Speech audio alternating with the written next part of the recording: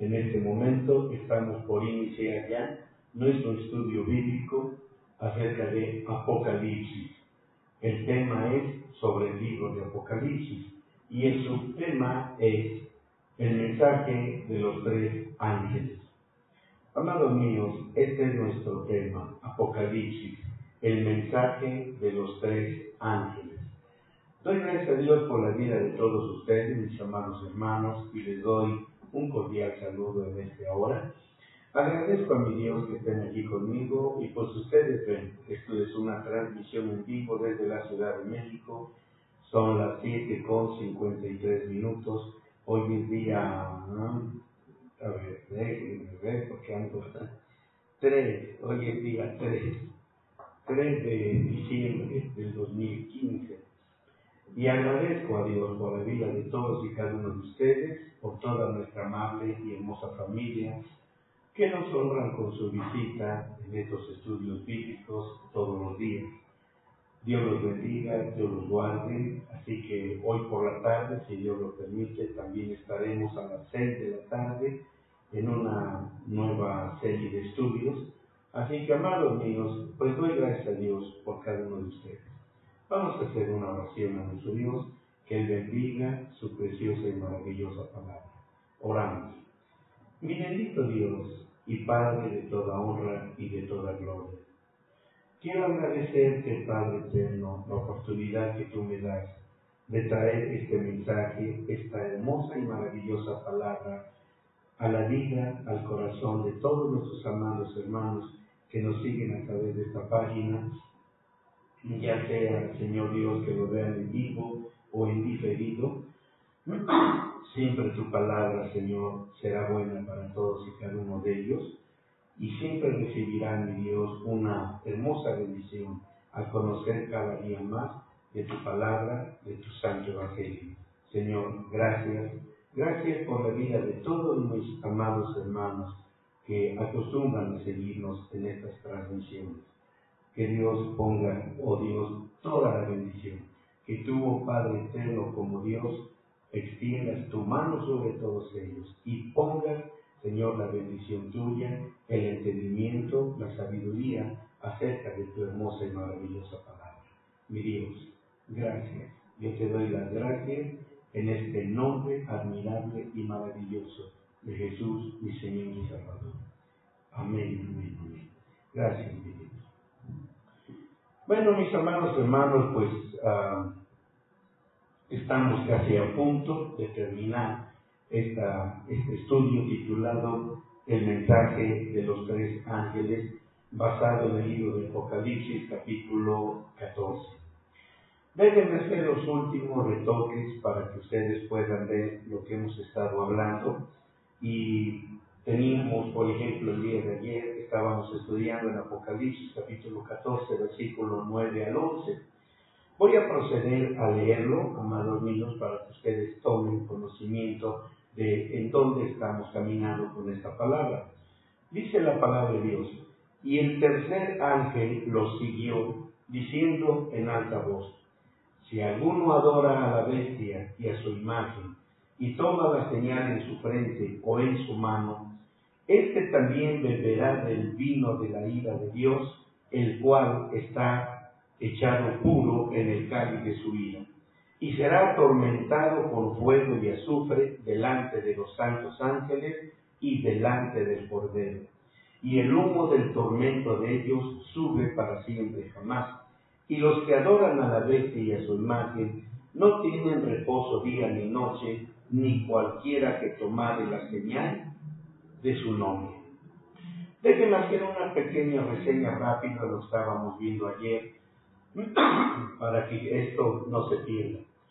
Finalmente estamos llegando ya al punto donde un tercer ángel pues hace acto de escena en este, en este evento tan importante dentro del periodo de la gran tribulación que dura tres años y medio. Ahora, finalmente, un tercer ángel aparece y advierte pues a todos los habitantes de la tierra de la inminente venganza divina que alcanzará a todos aquellos que obstinadamente se han adherido a la adoración al anticristo y a su imagen, y que han recibido la marca en su frente y en su mano. Como ustedes pueden ver, hermanos míos, el tercer ángel afirma con fuerza que aquellos que han persistido en su adoración idolátrica del anticristo y han estado sujetos a él y han promovido su causa, pues deben de esperar, hermanos, beber profundamente del vino de la ira de Dios. Así que, hermanos, aquellos que se rehusaron a salir de aquella Babilonia, que no es otra más que la antigua Jerusalén, aquellos que con esta determinación persistieron en participar en sus pecados, pues ahora llega el momento y ha llegado el momento en que van a tener que pagar por todas las cosas que ellos han hecho. Así que, hermanos míos, y van a recibir como pago las plagas que Dios traerá destinadas para aquellas gentes que siempre vivieron en desobediencia delante del Señor. Así que, hermanos míos, la fornicación espiritual o idolátrica es un pecado condenable por Dios a lo largo de toda la historia. Y esto, hermanos míos, probará ser fatal para aquellos que persistieron en él, que nunca tuvieron ellos pues eh, esta parte de, de rehusar seguir en sus pecados. Amados míos, como ustedes han visto y les he estado diciendo, el tiempo de tormento que el ángel describe se refiere al tipo de gobierno y reino universal de Dios en la edad perfecta. Así que, hermanos míos, aquellos que han rechazado al Señor y aquellos que han recibido la marca de la bestia durante ese periodo de tribulación son lanzados al lago de fuego. Pese a que Dios, como ustedes pueden ver, mis amados míos, pese a que el Señor al final de la tribulación, y a pesar de que Él ya sabe que toda esa gente ya está marcada, está sellada, han recibido al anticristo como el Mesías y han recibido su marca, su sello, su número, etc., aún así el Señor todavía tendrá una grande misericordia por ellos y para con ellos, de tal modo, amados míos, que ellos recibirán el pago de sus desvaríos. Hermanos, a pesar de que todo esto está en ese estado, lo que a mí me deja muy sorprendido es el más grande amor de Dios manifestado, porque miren, a pesar de que ellos ya están marcados, están sellados, etc.,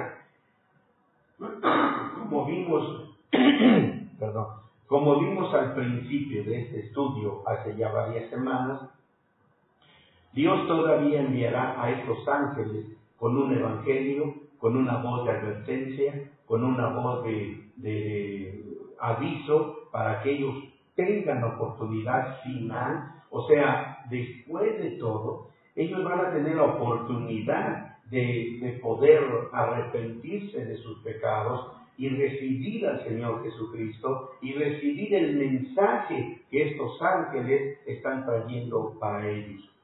Desgraciadamente, hermanos, el hecho de poder mirar cómo están suscitándose las cosas, nos deja muy claro, hermanos míos, que estos ángeles, perdón, que estas criaturas, eh, estos seres humanos en la tribulación, no jamás aceptaron al Señor, jamás lo aceptaron.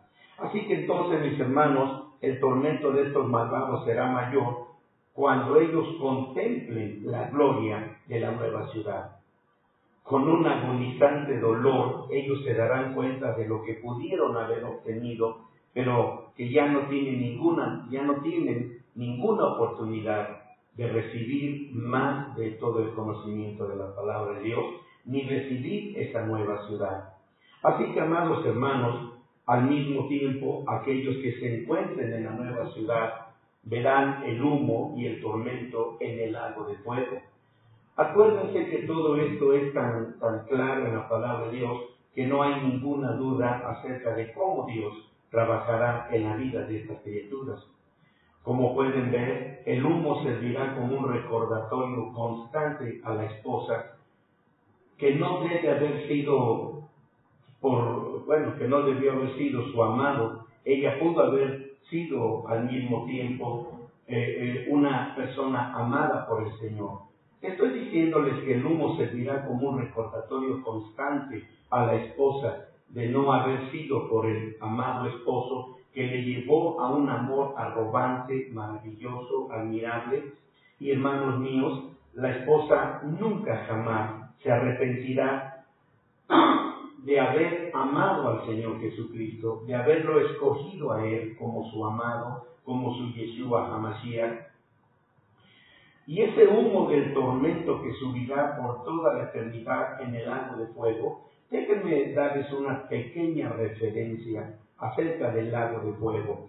Hay muy pocas personas probablemente que conozcan asuntos relacionados al lago de fuego. Y les voy a decir esto, amados míos, porque mucha gente considera que el lago de fuego es el infierno, pero no, mis hermanos, el lago de fuego todavía no está hecho, todavía no está, pues ahora sí que construido o, edificado, no sé qué palabra usar. Lo cierto es que el lago de fuego, la Biblia nos menciona de muchas formas su existencia. Por ejemplo, una de ellas le llama el valle del hijo de Inón. El lago de fuego se conoce también como el valle del hijo de Inón. También se conoce como el valle de la matanza. También se conoce como Topet. Topet. Estos, estos son los diferentes nombres que Dios utiliza para poder hablar sobre el origen del lago de fuego. Pero la Biblia dice que este lugar, este lugar Topet, está reservado, está conservado, está ahora sí que esperando que Dios lo ponga en funcionamiento. Pero también hay algo que necesito comentarles acerca del lago de fuego. El lago de fuego va a ser un lugar visible, no va a ser en un lugar, no va a ser un lugar oculto, escondido a la vista de todo ser humano, como lo es ahorita en este caso el infierno. El infierno no puede ser visto, aunque está ahí. ¿Y por qué digo que está ahí? Porque si mi Biblia dice que está ahí, amados míos, eso quiere decir entonces que el lago de fuego está pues ahí. Pero no puede ser visible porque está en el centro de la tierra, de acuerdo a la Biblia. Pero el, el lago de fuego, amados míos, va a ser un lugar visible, va a ser un valle, es un lugar geográfico, sobre la superficie del planeta Tierra, así como podemos nosotros pensar cómo están los países asentados en un lugar geográfico visibles en este planeta Tierra. Así que el lago de fuego, como ya les dije, está ubicado. Tan solo ustedes, mediante la Biblia, busquen, amados míos, en la geografía bíblica, dónde está, dónde está ubicado el Valle de la Matanza, el valle del hijo de Inón, ese valle que va a ser llamado Topé, que se llama Topé, y que está en un lugar geográfico, no está en el centro de la tierra como es el infierno. Así que ese lugar, amados míos, estará visible. Lo único que de acuerdo a la palabra de Dios estará prohibido, estará prohibido que gentes pasen por ahí. Dice que será un lugar desolado, donde ni el pelícano, ni la lechuza, ni el búho, ni el sátiro pasará por esos lugares. Nadie tendrá eh, apetito, por así decirlo, eh, como ir a un tour, como ir a unas vacaciones y decir, ¿sabes qué? Vamos a ir a pasar cerca de donde está el lago de fuego y mirar a la gente que está en ese lago de fuego. Dios, Dios tendrá la reserva de que ninguna criatura, ningún ser humano pase por ese lago de fuego. Pero dice la Biblia, de acuerdo a lo que estoy ahorita mostrándoles, la Biblia dice que su humo subirá por toda la eternidad. Este humo, amados míos, este humo será un punto, no sé cómo poder explicarlo, cómo expresarlo, pero será un lugar, amados míos, será un lugar en donde será, no sé qué palabra usar, pero déjenme explicarlo o expresarme como siento yo expresar este pensamiento. Será un lugar nada agradable. Mirar al horizonte, mirar a lo lejos, mirar ese incendio, por así decirlo, contemplar esa humareda, ese humo que subirá por toda la eternidad. Ese humo será visible en toda la tierra, será visible. No estoy diciendo que la tierra va a estar nublada por causa de ese humo. Ese humo será visto. No sé de qué manera Dios lo hará, pero Dios lo va a hacer. De tal modo que entonces, mis hermanos, esto traerá un recordatorio a todas las naciones que fueron salvas a toda gente, a toda carne, a toda alma, a todo espíritu que esté en los nuevos cielos, que esté en la nueva tierra, que esté en la nueva ciudad. Y puedo asegurarle sin temor a equivocarme que ese humo también subirá y, y será visible en los 99 universos y será visible también para las doce nuevas creaciones como un recordatorio, hermanos míos, del juicio justo, santo, perfecto de Dios, de haber castigado el pecado que con toda alevosía y ventaja de conocimiento el hombre pecó en contra de Dios. Esto será, hermano, algo terrible y también será un recordatorio para la amada, para la esposa, de que esto despertará en ella despertará en la esposa del Cordero una enorme gratitud, adoración y alabanza a su esposo, el Cordero de Dios, porque si no hubiera sido por él, la esposa o gente que componen el grupo de la esposa, estarían también en ese lago de fuego. Hermanos, qué maravilloso cuando Dios puede advertirnos del inminente peligro en que muchas veces nos encontramos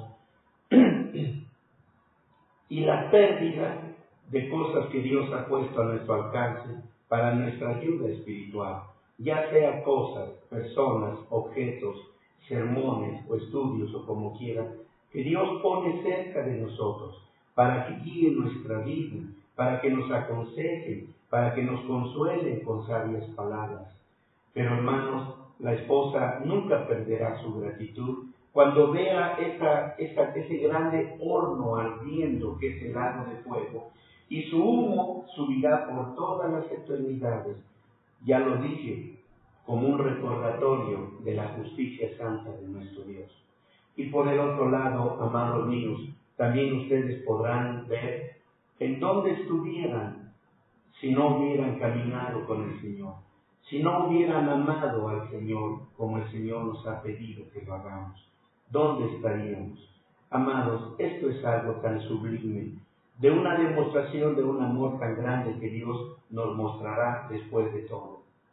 Así que, amados míos, como ustedes pueden ver, las personas que sean lanzadas al lago de fuego tendrán por compañeros por toda la eternidad a sus repugnantes, malvados y viles líderes Hermanos, ustedes, bueno, no ustedes, la gente, las personas que sean lanzadas al lago de fuego, irán tomados de las manos de sus amigos, amistades, parientes, que los llevaron a la perdición, que los llevaron al pecado, y con toda su vileza y sus repugnantes y malvados propósitos y depravaciones de las más horribles, serán sus compañeros por todas las eternidades y estarán tomados de las manos en sus ayes interminables de dolor y sufrimiento. Hermanos, la palabra de Dios nos deja claro en el capítulo 20, versículo 10 del mismo libro de Apocalipsis, donde dice estas palabras, y el diablo que los engañaba fue lanzado en el lago de fuego y azufre, donde está la bestia y el falso profeta, y serán atormentados día y noche para siempre jamás. Para siempre jamás. Déjenme explicarles un poquito nada más este concepto, donde dice, y serán atormentados día y noche. Esto es algo difícil de explicar, y más cuando nos lleva a un pensamiento que muchas veces nosotros podemos pensar que somos más misericordiosos que nuestro Dios. Déjenme explicárselos. Pero ya les dije, El hecho de que ustedes tengan amigos perversos, malvados, violentos, amistades con las mismas circunstancias o situaciones o condiciones, el que usted le haya dado la mano al hombre violento, pecador, pervertido, perverso, etc., esto lo convertirá en su amigo eterno en el lago de fuego cuando esa gente vaya a parar a ese lugar. Y el punto cuando el Señor está diciendo, cuando el Señor está diciendo, y su tormento será día y noche. ¿Qué quiere decir esto, mis hermanos? ¿Qué quiere decir esto? Déjenme explicárselos sin mucho, sin mucho rebuscar.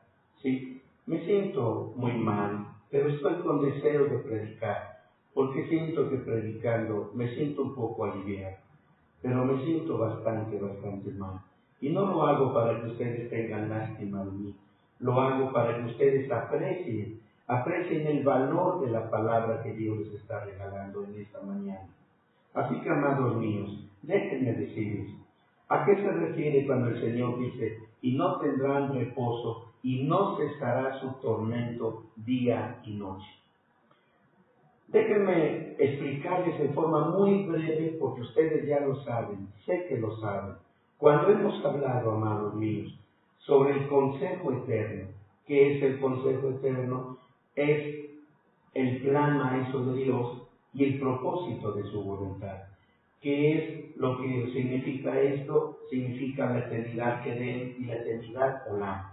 ¿Y qué significa todo esto? Que Dios ha dejado escrito en ese consejo eterno las cosas que sucedieron y sucederán. Entonces, cuando dice aquí que no tendrá reposo día y noche, quiere decir que el Señor dejará escrito para siempre jamás el tormento y las situaciones de vivencia que tendrán todas esas naciones en el lago de fuego, y que al quedar escrito en, en la eternidad en la eternidad que den y Olam, al quedar escrito ahí, ustedes saben, amados míos, porque yo se los he enseñado también, y estoy seguro que lo han oído también en nuestros estudios del camino crucificado, han estudiado también que el consejo eterno de Dios, lo escrito está en la eternidad que den y Olam, son totalmente inalterables, son totalmente incambiables son totalmente inmodificables, son totalmente carentes de ser trastornados por influencias internas y externas. Lo que, perdón, lo que queda escrito ahí, amados míos, será para todas las eternidades y nadie jamás podrá meter la mano en ese plan maestro y propósito de su voluntad una vez que el Señor introduzca esa ordenanza, ese mandamiento, esa ley de que estas criaturas en el lago de fuego, su tormento será eterno y para siempre, acompañados de sus amigos que los llevaron a la perversión, a la práctica de todo tipo de pecado, a la práctica de toda idolatría, y que nadie jamás, ni Dios mismo, escuchen esto, y es cierto, que ni Dios mismo cambiará lo que está escrito ya en ese consejo eterno de nuestro Dios. Amados, yo sé que para algunos de ustedes probablemente esto resulte imposible. Si para ti resulta imposible darle crédito a lo que te estoy diciendo, hermano, no hay ningún problema. Yo solo doy un mensaje que puede ser o bien aceptado o bien puede ser rechazado. No sugiero nada, no induzco a nada, no tengo ese poder ni estoy con ese propósito aquí para hablar de esto. Así que hermanos, solamente quise darles alguna pequeña referencia sobre qué significa esto de que para siempre jamás y de que estará, y que estará este tormento día y noche en ellos. Así que hermanos míos, como pueden ver, aquí en Apocalipsis 20, 14, tengo otro versículo que dice, Apocalipsis 20, 14. Dice de esta manera, y el infierno y la muerte fueron lanzados en el lago de fuego. ¿Vieron eso? Y dice aquí, esta es la muerte segunda. Esta es la muerte segunda. Y en el capítulo 21 tenemos otra descripción más, porque dice, en el capítulo 21, dice en el versículo 8, mas a los temerosos e incrédulos, a los abominables y homicidas, a los fornicarios y hechiceros, y a los idólatras, y a todos los mentirosos, su parte será en el lago ardiendo con fuego y azufre, que también es la muerte segunda. En Apocalipsis 5, capítulo 5, versículo 3, quiero que ustedes vean ahí otro texto tan relevante, por no decir importante, pero ambas cosas puedo pensar que es lo mismo. Así que, amados míos, yo quiero que vean aquí esta parte. Apocalipsis, estoy, capítulo 5, versículo 3. Y oí a toda criatura que está en el cielo y sobre la tierra y debajo de la tierra, y que está en el mar, y todas las cosas que en ellos están, diciendo, al que está sentado en el trono y al Cordero, sea la bendición y la honra y la gloria y el poder para siempre jamás. Amados míos, Jesús dijo en Juan 13, 22, el, Juan 12, 32, perdón, Juan 12, 32. Jesús dijo, y yo, si fuere levantado de la tierra, a todos traeré a mí mismo. Bendito sea el nombre del Señor. Todas las personas serán levantadas en virtud de la sangre de Jesús, alabada sea su sangre. Amados míos, algunos serán levantados, hermanos míos, y la bendición de la vida eterna, mientras que aquellos que sean levantados en el lado del juicio, hermano, estos serán llevados eternamente al lago de fuego. Amados míos, el origen del tormento encontrado en el lago de fuego, hermanos míos, está en el lago de fuego de azufre. El fuego en el infierno y el fuego en el lago de, en el lago de fuego es el fuego del celo de Dios.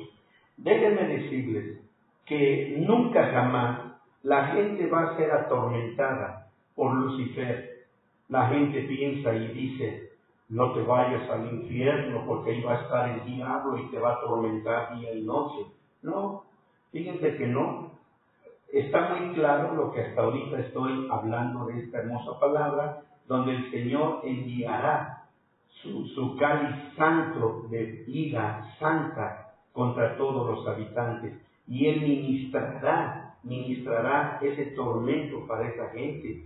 Así que de alguna manera, hermanos míos, Lucifer nada tendrá que ver porque él mismo estará siendo atormentado, como lo dice la palabra de Dios.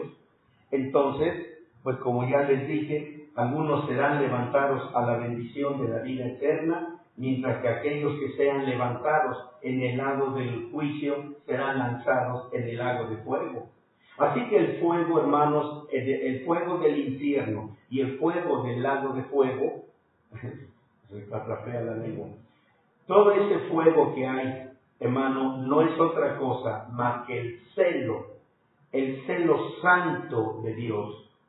Y quiero que vean aquí, hermanos míos, que en este caso la palabra azufre la palabra azufre en el griego viene de la raíz primaria que significa divinidad suprema.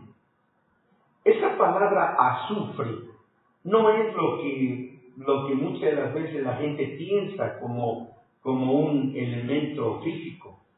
Este azufre viene de una palabra raíz que ya les dije que significa divinidad suprema.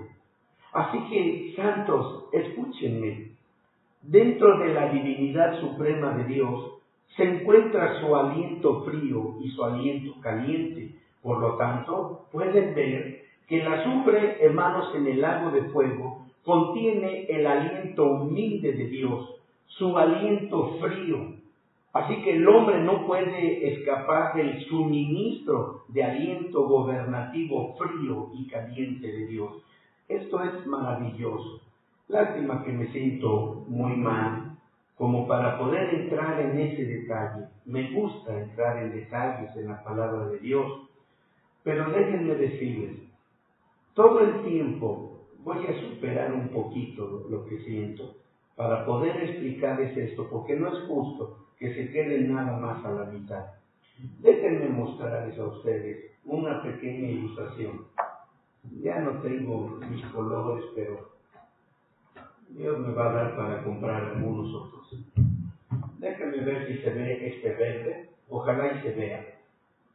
El, que casi que ocupo mucho es el negro. A ver si lo alcanzan a ver. Espero que sí.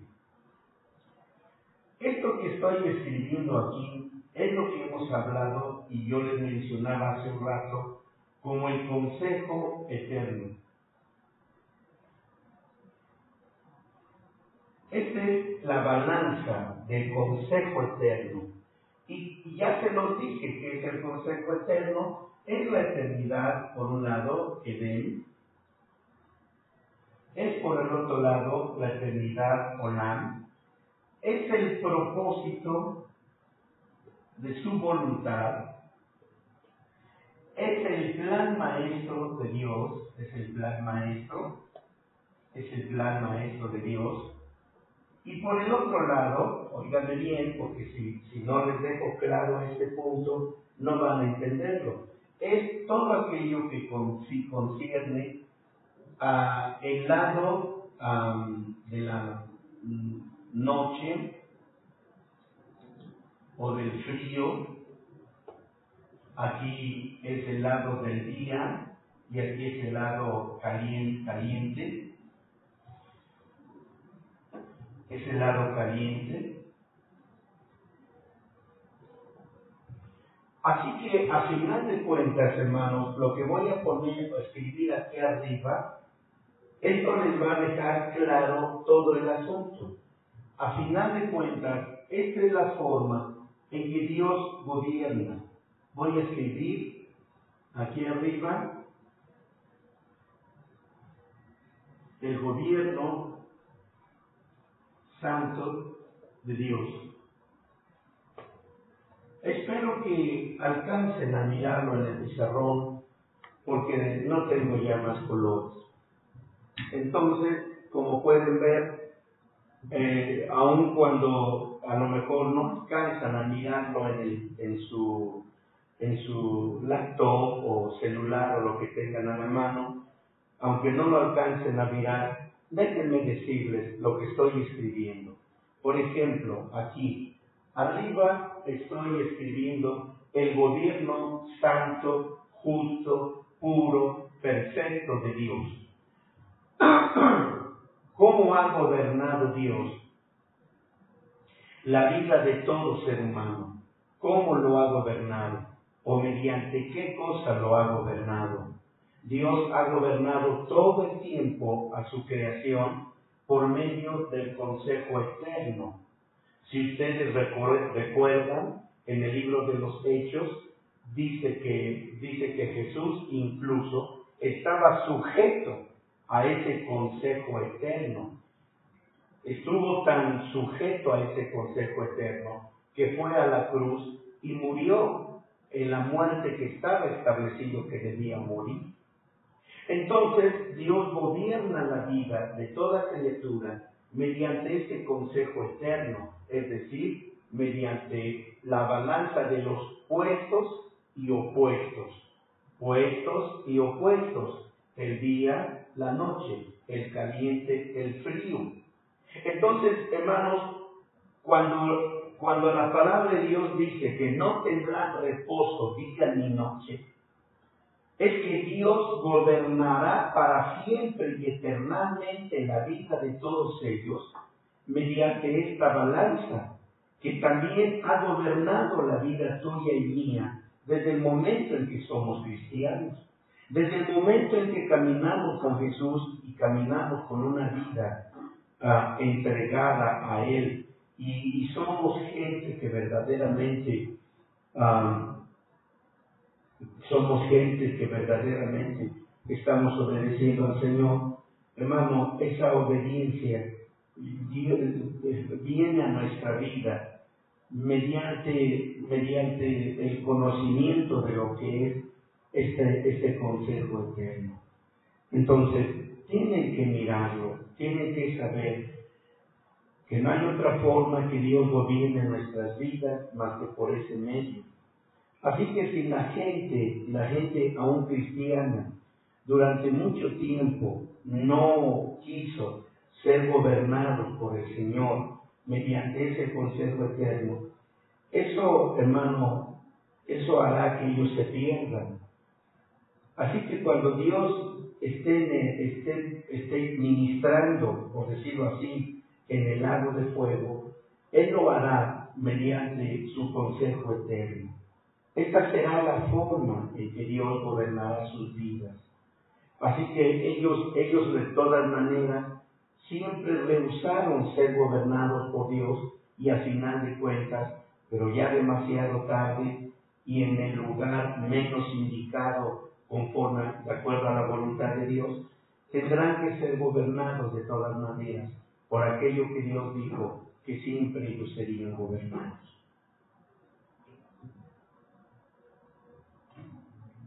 Aleluya, bendito tu nombre. De modo que, hermanos míos, esto es algo que nosotros debemos aceptar en este tiempo. Debemos aceptar ese gobierno de nuestro Dios. Y esto es lo que de todas maneras en el lago de fuego Dios ministrará ese gobierno. Dios va a traer ese gobierno a las naciones, es decir, a todas estas gentes que estén en el lago de fuego. Mis amados hermanos, espero que haya sido de provecho esta lección. Si Dios quiere, a lo mejor todavía tomamos otro punto en otra ocasión. Que Dios los guarde, que Dios los bendiga, que Dios esté con ustedes. Si, Dios quiere, estaré con ustedes a las seis de la tarde del día de hoy. Dios los guarde, Dios los bendiga, que Dios esté en sus corazones. Ha sido un placer llevarles la palabra de Dios. Dios los bendiga.